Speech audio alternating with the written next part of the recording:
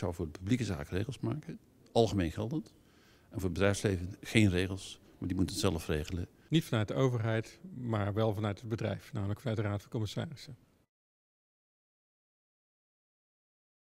Ik zou dan dus altijd een prikkel inbouwen om extra te verdienen. Die zou ik in principe onbegrensd laten. Hoe meer en hoe beter dat hij presteert, hij of zij, hoe, hoe waardevoller dat is voor de hele gemeenschap. Ook de werknemers, want er worden arbeidsplaatsen gecreëerd. Er wordt belastingcapaciteit gecreëerd. Uh, maar de aandeelhouders worden er natuurlijk ook beter van. Dus voor iedereen is het beter. De raad van bestuur zou ook ondernemer moeten zijn. Dat betekent dat als de waarde van het bedrijf omhoog gaat, dat zij mee omhoog gaat met het bedrijf. En als de waarde van het bedrijf terugloopt, dat zij mee teruglopen qua welvaart in dat bedrijf.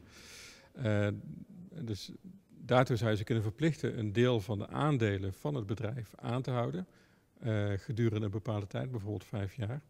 En pas na vijf jaar mogen ze hun aandelen van de hand doen.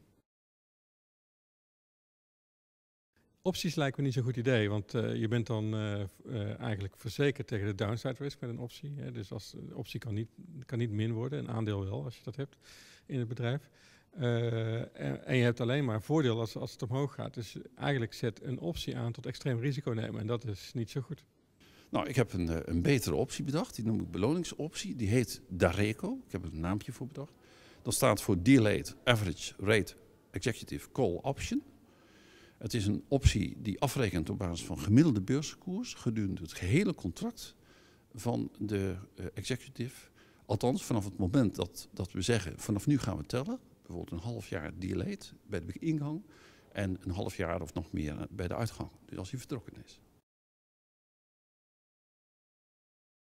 Nee, die beloningen zijn uitvloeisel van een andere fout en die hebben geleid tot de crisis.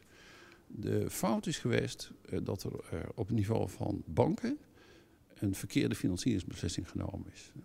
Ja, kijk, mensen willen graag uh, hetgeen wat ze niet begrijpen verklaren. Nu is al jarenlang wordt er gesteggeld over het feit dat we zo'n hoge beloningen hebben in, in die bedrijven.